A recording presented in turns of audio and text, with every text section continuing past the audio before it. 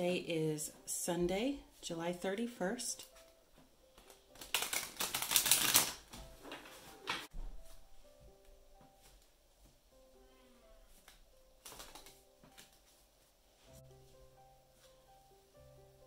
The Queen of Cups.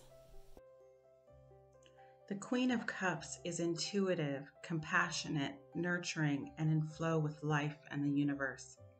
This card encourages you to tap into this divine mother energy.